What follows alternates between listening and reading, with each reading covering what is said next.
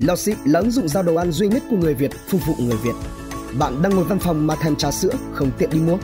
Buổi trưa, bạn ngại nắng nóng, ngại ra ngoài ăn thì đã có Lawship giao đồ ăn. Đặt món gì cũng free ship cho bạn. Lawship còn có đặt xe, đi chợ, giao hàng và nhiều dịch vụ giao vật khác. Có thể tải app Lawship ngay trên App Store hoặc Google Play, link tải app ngay dưới description. Thử đặt Lawship giao đồ ăn, nhâm nhi trong lúc xem tiếp video của Độc Đáo TV bạn nhé. Elon Musk thừa nhận dự án bán tải điện Cybertruck có thể thất bại. Trao đổi với người hâm mộ trên mạng xã hội Twitter ngày 15 tháng 7 2021, Tổng giám đốc CEO Elon Musk của Tesla thừa nhận rằng mẫu xe bán tải Cybertruck mà hãng này đang phát triển có thể gặp phải sự thất bại. Dù vậy thì Elon quyết định giữ thiết kế sản xuất của Cybertruck đúng như mẫu xe mà Tesla đã giới thiệu với công chúng.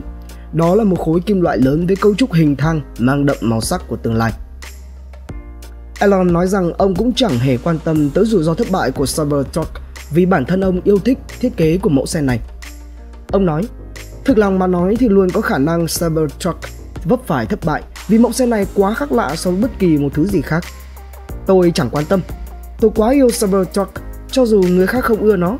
Các mẫu bán tải khác trông như những bản copy từ cùng một thứ, nhưng Cybertruck thì trông giống như một sản phẩm gần ngoài tinh đến từ tương lai. cô ra mắt của Cybertruck vào năm 2019 đã gây ra xôn xao do thiết kế đặc biệt của chiếc xe này và cũng bởi vì Elon đã mời nhà thiết kế Franz von Hausen của Tesla cầm một quả bóng kim loại ném thẳng vào cửa sổ chiếc Cybertruck trên sân khấu nhằm chứng tỏ về độ bền. Tuy nhiên, cửa kính của chiếc xe đã vỡ ngay lập tức khiến cho Elon ngớ người. Mặc dù sự cố không mong muốn trong lễ ra mắt và những bấp bênh quanh việc liệu rằng Tesla có thể giao hàng mẫu xe này đúng hẹn hay không thì hãng vẫn nhận được một lượng lớn đơn đặt hàng chiếc xe này với khoản tiền đặt cọc là 100 đô la Mỹ mỗi đơn. Chỉ một tuần sau khi Cybertruck trình làng, Elon đã khoe rằng Tesla nhận được 250.000 lượt đặt mua. Tháng 9 2020, Elon tiết lộ rằng Tesla đã nhận được nhiều hơn đơn đặt hàng cho Cybertruck đến nỗi công ty phải dừng đếm. Ông nói, lượng đơn đặt hàng rất nhiều, hơn tới nửa triệu đơn, có thể là 600.000 rồi.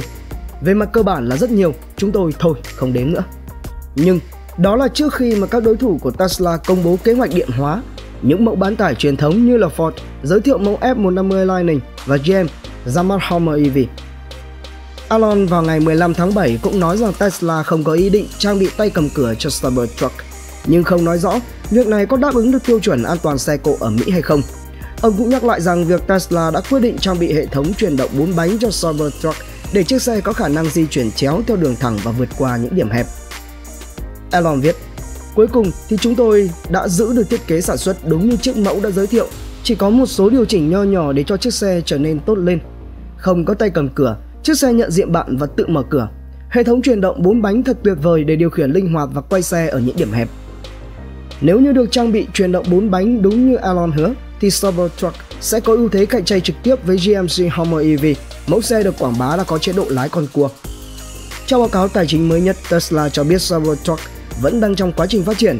Hãng này dự kiến sẽ cập nhật thông tin về mẫu xe trong báo cáo kết quả kinh doanh quý 2, dự kiến công bố vào ngày 26 tháng 7 2021. Bình Minh, VN Economy, Độc Đáo TV tổng hợp và đưa tin. Quảng cáo tiếp cận hàng triệu khách hàng mục tiêu tại Độc Đáo TV. Liên hệ ngay Đinh Nghĩa Studio gmail.com, số điện thoại 0964 002 593.